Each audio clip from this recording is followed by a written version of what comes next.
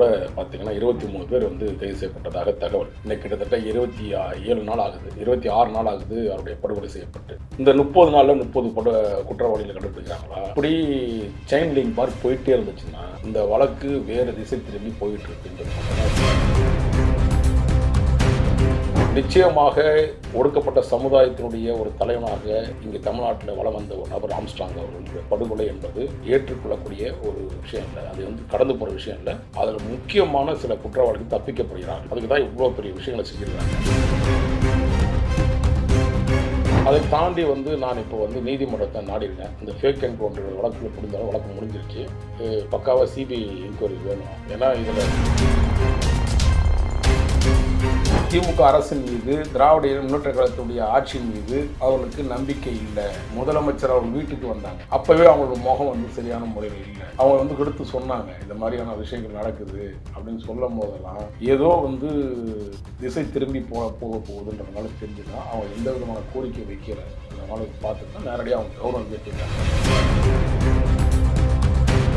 நான் தமிழ்நாடு போ காவல்துறை வந்து நான் வந்து குறையெல்லாம் சொல்ல விரும்பல. ஒரு சில அதிகாரிகள் பண்ணக்கூடிய தவறுனால் ஏற்பட்ட விபரீதம் வழக்குடைய திசை மாறுது. அதனால வந்து இதெல்லாம் மாற்றணும் ஏன்னா இதில் பல்வேறு விதமான அரசியல் பின்புலம் உள்ளவர்கள்லாம் இதில் வந்து இருக்கிறாங்க. இதெல்லாம் மறைக்கப்படுகிறது. அதற்காகத்தான் வந்து இந்த ஃபேக் என்கவுண்டர் திருவங்கடத்தை வந்து போடப்பட்டது முப்பது நாளில் முப்பது குற்றவாளிகள் வந்து அப்படியே கண்டுபிடிச்சிருவாங்க. குற்றம் சம்மந்தப்பட்டவங்களோ குற்றவாளிகளோ ஏதோ ஒரு அக்யூஸ்டை நடத்திடுவாங்க இப்படியே நீடிச்சுட்டே போச்சுன்னா முற்றுப்புள்ளியா சம்பவம் செஞ்ச என்பவரை முகத்தை யார் முகம் என்ன எப்படி இருப்பாங்க கூட தெரியாது. முப்பது ஆண்டு காலமாக அவங்க ஒரு ஃபீல்டே இருந்துட்டா கூட முகம் தெரியாமல் இருக்கிறாங்க. அதுக்கு முன்பாக ஒரு சம்பவம் நடந்துச்சு. சம்பவம் செஞ்சதை பிடிப்பதற்கு நம்ம தமிழக காவல்துறை கிட்ட போனதுக்கப்புறம் சார்ஜ்ஷீட் போடும்போது இவர் இன்னாரு இவருக்கு பின்னாடி இவர் அவர் பின்னாடி அவர் இருந்தார் இவர் ஆயுதம் கொடுத்தாரு இவர் முன்னாடி இது வெட்டினாரு இப்படின்னு ஒரு கதை சொல்லணும். நீங்கள் ஒரு ஒருத்தருக்கும் ஒரு கதை ஃபிக்ஸ் பண்ணும்போது சார்ஜ் நீங்கள் முப்பது பேர் இதுவரை வந்துருச்சுன்னா எத்தனை இந்த வழக்கு எப்படி நிற்கும் நினைக்கிறீங்க? நான் அந்த பத்திரிகை துறையில் வந்து முப்பது ஆண்டுகளுக்கு அனுபவத்தில் சொல்கிறேன் நீங்கள் நேரிட்டு இந்த கிரைம் கிரிமினல் கேஸ் பார்க்கக்கூடிய வழக்கங்களை கேளுங்க. இந்த வழக்கு ஒன்றுமே இல்லாமல் போகிறதுக்கான வழிமுறைகளை தமிழக காவல்துறைக்கு ஒரு சில அதிகாரி தப்பு பண்ணுறாங்க எங்களை போன்ற போராடக்கூடிய ஒடுக்கப்பட்ட சமுதாயத்துக்கு போடக்கூடிய த நபர்களுக்கு வந்து பாதுகாப்பு தர முடியாது. அரசு எவ்வளோ மோசமான சூழ்நிலை இருக்கும். அது அரசுக்கு தான் அவப்பேர் நீங்கள் நினைக்கிற மாதிரி மு க ஸ்டாலினுக்கு தான் சில அதிகாரிகள் பண்ணுற தவறுனால் இருக்கக்கூடிய அபிர விபரீதம் தான் இதுல ஏற்படும்.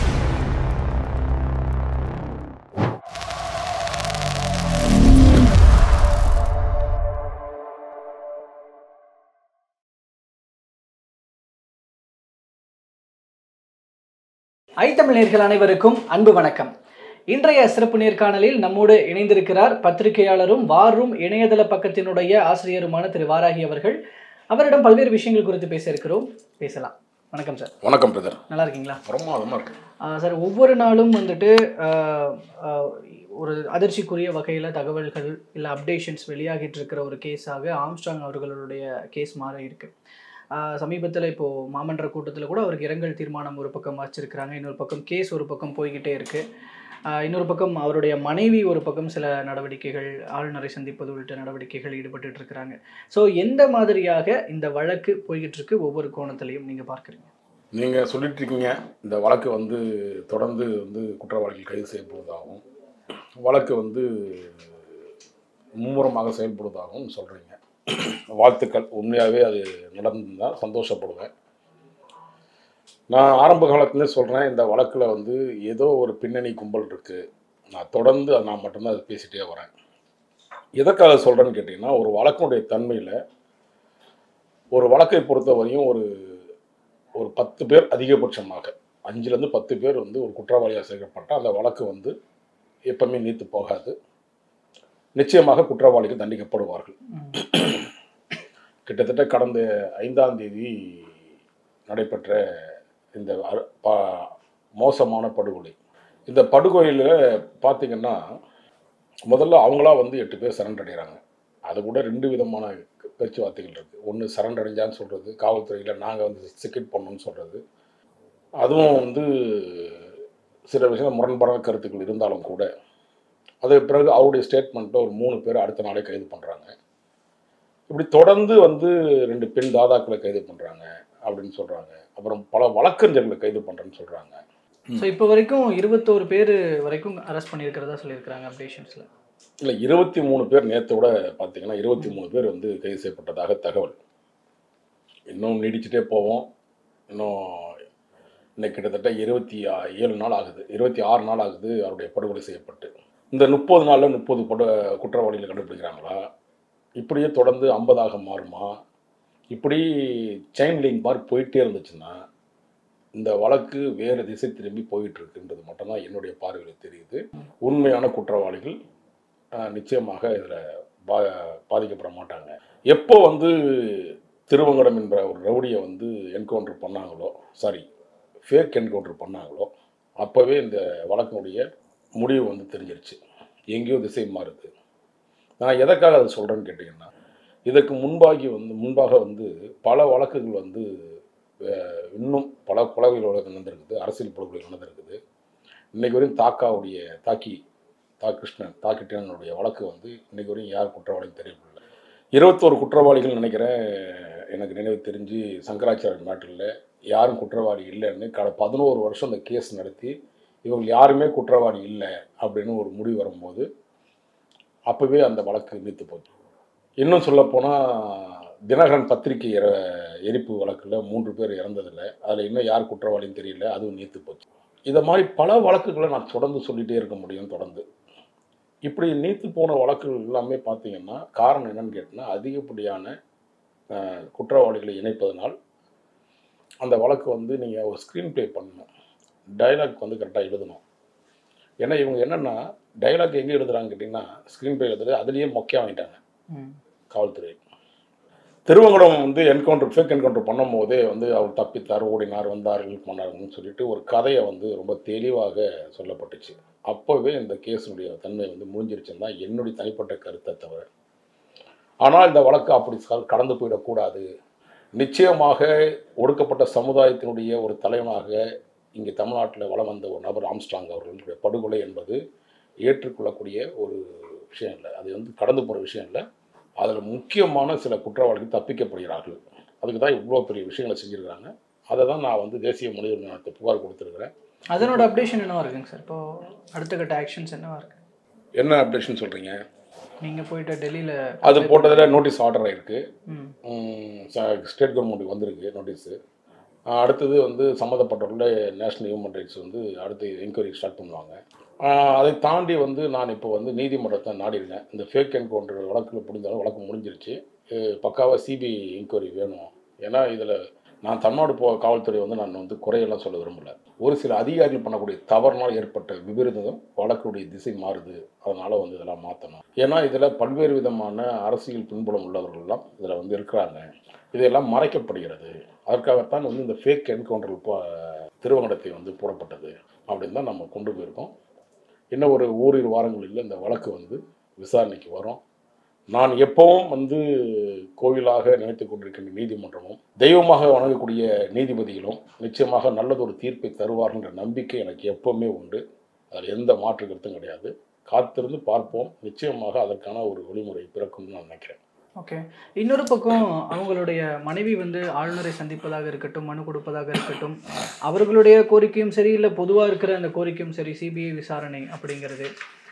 இந்த சைடில் நடந்துக்கிட்டு இருக்கிற ஆக்ஷன்ஸ் எந்த அளவுக்கு பலன் தரும் அப்படின்னு நினைக்கிறேன் அதாவது அவர்கள் மனைவியுடைய தன்னுடைய கோரிக்கையை வந்து ரொம்ப ஆழத்தனமாக சொல்லிட்டாங்க. ஏன் வந்து முதலமைச்சர்கிட்ட கொடுக்காம கவர்னரை பார்த்து கொடுக்குறாங்க? அப்போவே உங்களுக்கு நல்லா தெரியுதா?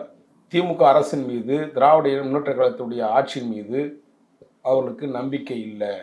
முதலமைச்சர் அவர்கள் வீட்டுக்கு வந்தாங்க. அப்போவே அவங்களோட முகம் வந்து சரியான முறையில் இல்லை.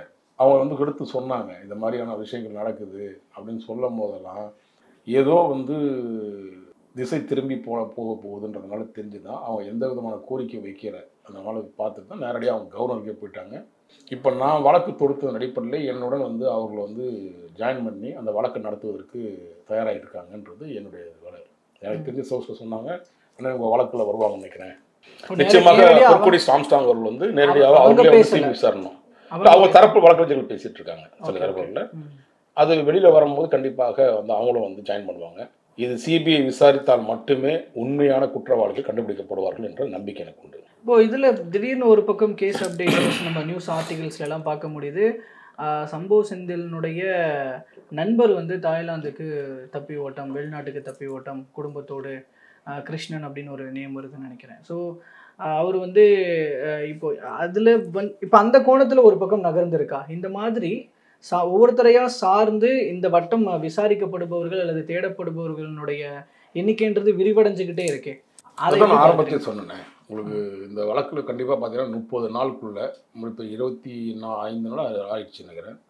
இருபத்தி ரெண்டு நாட்கள் ஆயிடுச்சு இப்போவே வந்து இருபத்தி மூணு பேர் கைது செய்யப்பட்டிருக்குது. இன்னும் ஒரு ஏழு நாட்களில் முப்பது நாள் ஆகிடும் முப்பது நாளில் முப்பது குற்றவாளிகள் வந்து எப்படியும் கண்டுபிடிச்சிருவாங்க. குற்றம் சம்மந்தப்பட்டவர்களோ குற்றவாளிகளோ ஏதோ ஒரு அக்யூஸ்டை கனெக்ட் பண்ணிடுவாங்க. இப்படியே நீடிச்சிட்டே போச்சுன்னா முற்றுப்புள்ளி என்ன? சம்பவம் செந்தில் வந்து கைது செய்யப்பட்டதாக அரசியல் புரசலாக சில தகவல் வந்து நம்ம பார்த்தோம். சம்பவ செந்தில் என்பவரை முகத்தை யார் முகம் என்ன எப்படி இருப்பாங்க கூட தெரியாது. ஒரு முப்பது ஆண்டு காலமாக வந்து ஒரு ஃபீல்ட்லேயே வந்துட்டா கூட முகம் தெரியாமல் இருக்கிறாங்க. அப்போவே நம்ம காவல்துறையில் அது ஒரு பெரிய பெரிய ஃபைல் இருக்கும் சம்பவம் செந்தில்ன்றவன பிடிக்க முடியாமையா இருப்போம்.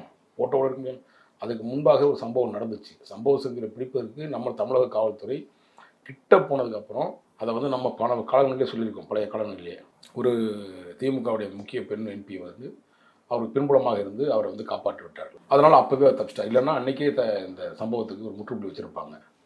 இந்த சம்பவ செந்திலை பொறுத்தவரையும் இன்றைக்கி கருப்பா சிகப்பா குள்ளமா நீளமா ஹைட்டா என்னன்னு தெரியாது. ஆனால் வந்து சம்பவ செந்தில் ஒரு நபரை சொல்லப்படுது. அப்போ இப்போ நம்ம நான் உங்கள் நண்பர்களை சொல்கிறீங்க யாரோ தாய்லாந்து புறப்பட்டார் டெல்லிக்கு போனார் தாய்லாந்து போயிட்டா தா தாய்லாந்து இல்லை நேபாள் போயிட்டான்றாங்க தாய்லாந்து போயிட்டான்றாங்க. இப்படி கதை சொல்லிட்டே இருக்கிறாங்க. இந்த ஸ்க்ரீன் ப்ளே வந்து ரொம்ப மோசமான ஒரு ஸ்க்ரீன் ப்ளே ஆணித்தரமாக சொல்லக்கூடிய விலாவாரியா விசாரிக்கணும் உண்மை குற்றவாளிகள் கண்டுபிடிக்கப்படணும் அப்படின்னு சொல்லும்போது அந்த விசாரணை வலையும் இந்த அளவுக்கு பெருசாகுதுன்னா அவங்களையும் விசாரிக்கப்பட வேண்டிய கட்டாயத்திற்கு காவல்துறை தள்ளப்படுறாங்கல்ல. அதையே நீங்க வேற ஒரு ஒரு ஒரு தவறுதலான பார்வையில ஏன் எடுக்கணும்? நான் எப்பவுமே நான் வந்து தமிழ்நாடு காவல்துறை குறை சொல்ல விரும்புறதில்லைங்க. ஒரு சில அதிகாரிகளை பற்றி குறை சொல்கிறேன் நீங்கள் வந்து அந்த என்கவுண்டர் போட்டதுலேயே வந்து அந்த முற்றுப்புள்ளி வச்சிருச்சு இந்த வழக்கில். ஏன்னா அது நீங்கள் சொல்கிற ஸ்க்ரீன் பிளேலாம் கேட்குற டைலாக்லாம் நம்ம கேட்குற மாதிரி இல்லை. அது யாரும் ஒத்துக்க மாட்டான். இன்றைக்கி சராசரி உள்ள ஒரு மனிதர்கள் வந்து பத்திரிக்கை படிக்கிறவங்க செய்தியை பார்க்குறவங்க ஊடகவியலாளர் பார்க்குறவங்க எல்லாருமே இதை வந்து சொல்கிறதெல்லாம் போலீஸ்க்காக சொல்லுதுன்னு நினச்சிட்டாங்க. இந்த வழக்கு கண்டிப்பாக முக்கியமாக கைது செய்யப்பட்ட குற்றவாளிகள் வேற ஒரு அரசியல் படத்தில் இருக்கிறாங்க. அதனால தான் சிபிஐ வேணும் வேணும் வேணும்னு கேட்குறேனே தவிர. ஏன் தாமாக வந்து சிபிசிஐடி இன்கொயரி வந்து வச்சுருந்தவங்க? அப்படி என்கொயரி கூட நீங்கள் வந்து அவன்கிட்ட கொடுக்காம அவசர அவசரமாக போயிட்டு அவனை நீதிமன்ற கஸ்டடியில் இருந்த ஒருத்தனை கூப்பிட்டு வந்து நீங்கள் பொட்டுன்னு போட்டு சுட்டு போயிட்டீங்க. இப்போ அங்கேயே தெரிஞ்சு போச்சா அவங்களுடைய யோகிதை என்னன்றது காவல்துறையில் சில அதிகாரி பண்ண தவறுல. அதனால தான் சொல்கிறேன் சிபிஐ விசாரிக்கணும் சிபிஐ விசாரிக்கணும். அது பாருங்கள் நாம் எப்பவுமே ஒரு வழக்கு என்பது சர்வசாதாரணமாக ஒரு ஐந்துலேருந்து பத்து பேருக்குள்ளே நீங்கள் அந்த வழக்கை வச்சுருந்தீங்கன்னா கதை சொல்வதற்கு அதாவது நம்ம கதை சொல்லலை ஸ்க்ரீன் பிளேன்னு ஒரு விஷயம். அதாவது வந்து எப்படி நீதிமன்றத்தில் நீங்கள் சார்ஜ் ஷீட் போடும்போது இவர் இன்னார் இவருக்கு பின்னாடி இவர் அவர் பின்னாடி அவர் இருந்தார் இவர் ஆயுதம் கொடுத்தாரு இவர் முன்னாடி இருந்து வெட்டினாரு இப்படின்னு ஒரு கதை சொல்லணும். நீங்கள் ஒரு ஒருத்தருக்கும் ஒரு கதை ஃபிக்ஸ் பண்ணும்போது சார்ஜ் ஷீட்டில் நீங்கள் முப்பது பேர் இது வரையும் வந்துருச்சுன்னா எத்தனை இந்த வழக்கு எப்படி நிற்கும்னு நினைக்கிறீங்க? நீங்கள் நல்ல விஷயம் தெரிஞ்ச நான் அந்த பத்திரிகை துறையில் வந்து முப்பதாண்டு காலத்து அனுபவத்தில் சொல்கிறேன் நீங்கள் நேரிட்டு இந்த கிரைம் கிரிமினல் கேஸ் பார்க்கக்கூடிய வழக்கறிஞர்களை கேளுங்கள் இந்த வழக்கு ஒன்றுமே இல்லாமல் போகிறதுக்கான வழிமுறைகளை தமிழக காவல்துறைக்கு ஒரு சில அதிகாரிகள் தப்பு பண்ணுறாங்கன்றது தான் என்னோட கருத்து. அதனால தான் அன்னையிலேருந்தே நான் வந்து சொல்கிறேன் இந்த வழக்கு சிபிஐ விசாரிக்க முடியல சிபிசிஐடி விசாரணைன்னு சொன்னதே ஏன்டா நீங்கள் வந்து மறைச்சு வச்சிட்டீங்க இப்போ? இன்றைக்கி வரையும் ஒப்படைக்க முடியாமல் இருக்கீங்க. அப்படின்னா எனக்கு சிபிசிடி மேலேயோ அல்லது சிபிஐ மேலேயோ பெரிய வந்து வெறுப்புலாம் கிடையாது. அதில் அதிகம் சில த தவறுகள் நடந்திருக்குது. சில வழக்குகள் வந்து இன்னும் நீத்து போய் தான் கிடக்குது. சிபிஐ விசாரிச்சா கூட. ஆனால் இந்த வழக்கு இந்த சூடு பிடிக்கும்? போது ஏன்னா பத்து வருஷமாக வந்து கண்டுபிடிக்க முடியாத ராமஜெயமுடைய கொலை வழக்கு என்ன காரணம்? இது தமிழக அரசு நடந்த சில காவல்துறை அதிகாரிகள் பண்ண தவறுனால தான் இன்றைக்கி ஒரு ராமஜெயத்தை வந்து கண்டுபிடிக்க முடியாமல் சூழ்நிலை இருந்துச்சு. அதற்கு சில கதைகள் கட்டப்பட்டுச்சு. ஏன் நம்ம இந்த சீனியர் கவுன்சில் சங்கரசுடைய மகன் ஒரு ஏரியில் வந்து மிதந்திருந்தார் இல்லையா? அது ஒரு அது கொலை தானே? அந்த வழக்கு இன்றைக்கி வரையும் சிபிஐ வரையும் விசாரிச்ச போய் என்ன ஆச்சு? ஒன்றுமே நடக்கலையே. இப்படி பல விஷயங்கள் வந்து நீங்கள் தள்ளி கொடுத்து நீங்கள் பண்ணீங்கன்னா அந்த வழக்கு சுத்தமாகவே சாட்சிகள் அளிக்கப்படும் போனோம்.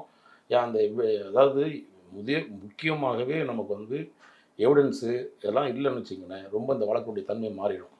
அதனால தான் நான் திரும்ப சொல்கிறேன் இப்போவே நீங்கள் சிபிஐ ஒப்படைச்சிங்கன்னா காலதாமதம் ஆகி நீங்கள் எந்த ஒரு பாருங்கள் காலதாமதமாகக்கூடிய தீர்ப்புகள் கூட இது வந்து எந்த விதத்துக்குமே அநீதிக்கு சமம் தான் அதனால தான் வந்து உடனடியாக மாற்றணும். முதலமைச்சருக்கு தான் பார்வை செலுத்தணும். இது ஏதோ உங்களுக்குள்ள உங்களையே மறைக்கிறாங்க சில அதிகாரிகள் அப்படின்றத நான் சொல்லுவேன். முதலமைச்சருக்கு அது தெரிந்து சில விஷயங்கள் தெரியாமல் மாதிரி இருக்கா இல்லை தெரியப்படுத்த மாட்டேறாங்களா? அப்படின்ற ஒரு கேள்வி இருந்துகிட்டே இருக்குது எனக்கு. அதனால தான் நீங்கள் வந்து முதலமைச்சர் முன் முன்முறையாக இருந்து பார்க்கணும். ஏன்னா பொற்குடி ஆம்ஸ்டாங்காவே உங்களை நம்பலையே. நம்பாதானே வந்து கௌரவம் சந்திக்கிறாங்க. ஆனால் இதில் வந்து குறிப்பாக அந்த அம்மையாரினோட நீதிமன்றத்துக்கு வந்தாருன்னா நிச்சயமாக சிபிஐ கையில் எடுத்துக்கும் நீதிமன்றம் உத்தரவு போடுன்ற நம்பிக்கை எனக்கு நீதிமன்றத்து மேலே இருக்குது. ஸோ அப்போ அந்த விஷயங்கள் ஒரு பக்கம் பொறுத்திருந்து பார்ப்போங்க. சார் இதனுடைய ஒரு சப்டாபிக்காக உருவான ஒரு விஷயம் என்னென்னா இப்போது தலித் தலைவர்களுக்கு தலித் மக்களினுடைய இப்போ ஒடுக்கப்பட்ட மக்களினுடைய குரல்களை பேசுபவர்களுக்கு பாதுகாப்பு இல்லை அப்படின்ற அந்த பாயிண்டில் தொடங்கி இப்போ அது விசிக திமுக கூட்டணியில் பிரச்சனைகளை ஏற்படுத்த ஏற்படுத்த வேண்டிய பே ஏற்படுத்தும் பேச்சுக்களுக்கு பேச்சுக்கள் வரைக்கும் நீண்டு வந்திருக்கு இப்போது இப்போ அதில் என்ன நடந்துக்கிட்டு இருக்கு? அத்தகைய பேச்சுக்கள் அந்த தலைவர்களுக்கு பாதுகாப்பு இல்லை அப்படிங்கிற ஒரு விஷயம் அப்போ அதை பேஸ் பண்ணி திருமாவளவன் அவர்கள் மீது வைக்கப்படுகிற விமர்சனம் இன்னும் திமுக கூட்டணியில் இருக்க வேண்டுமான விசிகாவை முன் வச்சு வைக்கிற விமர்சனங்கள் இந்த ஒரு லைனப்பை எப்படி பார்க்குறீங்க? அதாவது ஒடுக்கப்பட்ட சமுதாய தலைவர்கள் வந்து பாதுகாப்பு இல்லைன்னு அன்னைக்கே வந்து எல்லாரும் சொன்னாங்க. இப்போ சமீபத்தில் வந்து ஜான் பாண்டிய அவர்கள் வந்து பத்திரிகா சந்திப்பு எனக்கு கொடுக்கப்பட்ட அதிமுக ஆட்சி கொடுக்கப்பட்ட பாதுகாப்பு இந்த அரசு வந்து பிடிங்கிட்டாங்கன்னு சொன்னார். இது அதே மாதிரி தான் வந்து பாதுகாப்பு வந்து யாருக்கும் கொடுக்கப்படலை. அவர் கேட்டால் தான் கொடுப்பேன்னு சட்டத்துறை அமைச்சர் ரகுபதி அவர்கள் நேற்று ஒரு செய்தியாளர் சந்திப்பில் சொல்கிறாரு நாங்கள் கேட்டாங்கன்னா உடனே கொடுத்துருவோம். இருக்கிறது கேட்டில்ல இருந்ததே பிடிட்டு போயிருங்க நீங்கள் தான். எனக்கும் பதிமூணு பதிமூணு பன்னெண்டு ஆண்டு காலம் காவல்துறை பாதுகாப்பு இருந்துச்சு.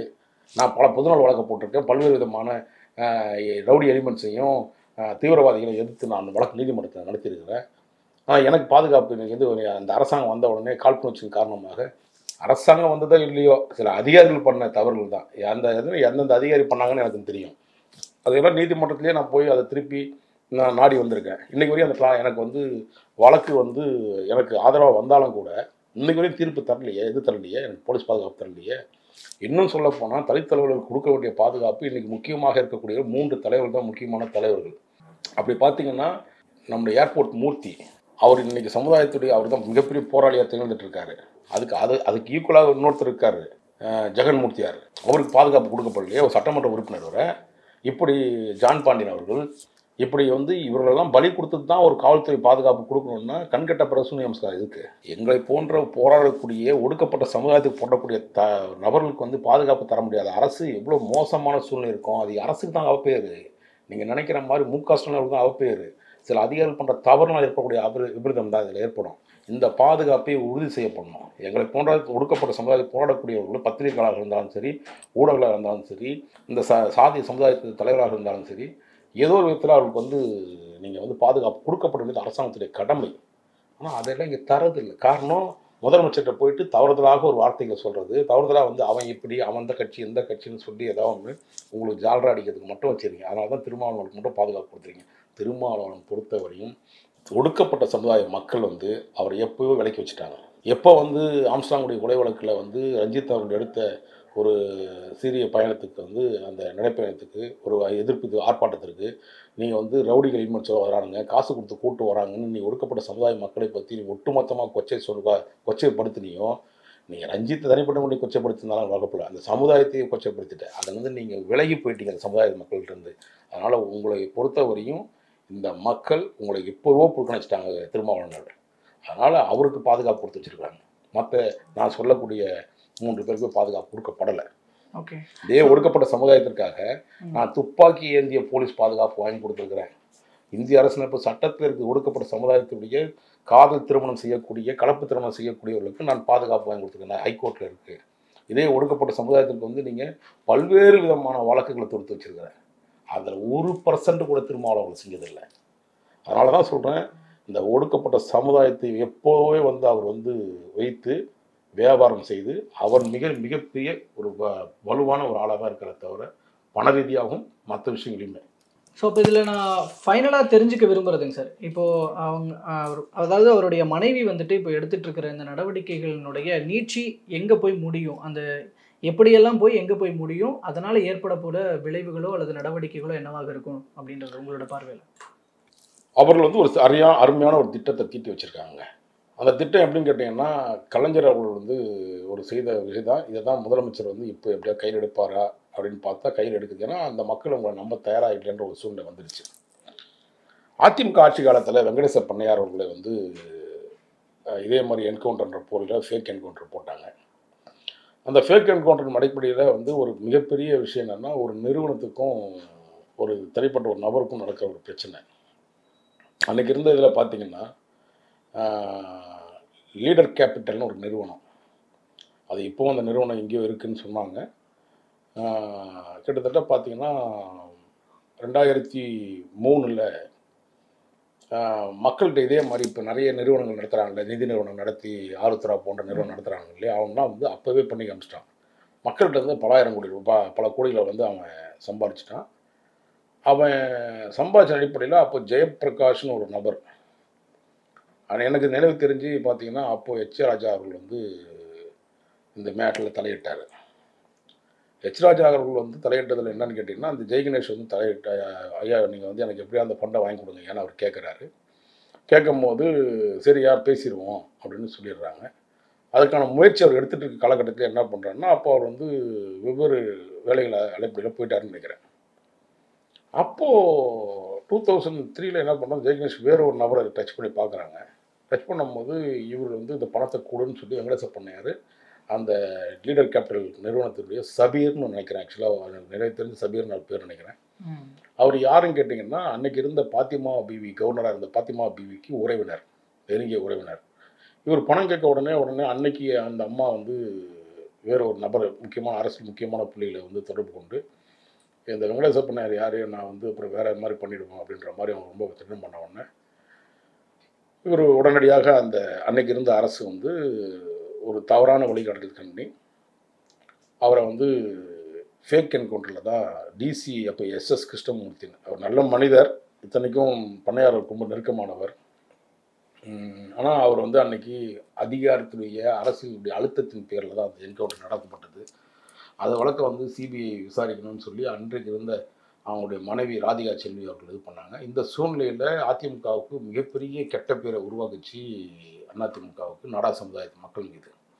அந்த சூழ்நிலையில தான் அந்த சூழ்நிலை தான் வந்து அப்போது வந்து கலைஞர் அவர் கரெக்டாக ஒரு ஸ்கெட்சை போடுறாரு. அதான் சொன்ன சாணக்கித்தனம்ன்றது ராதிகா செல்வி அவர்கள் இந்த நாடா சமுதாயத்தில் அவரை வந்து ஒரு ஒரு கேண்டிடேட்டாக உருவாக்கி அவருக்கு எம்பி பதவி எம்பிக்கு அவங்க கேண்டிடேட் போட்டு அந்த அம்மாவை வந்து ஜெயிக்க வச்சு அடுத்த கட்டம் அந்த அம்மாவை உள்துறை செயலாளருடைய இணை பொறுப்பை வந்து கொடுக்குறாங்க.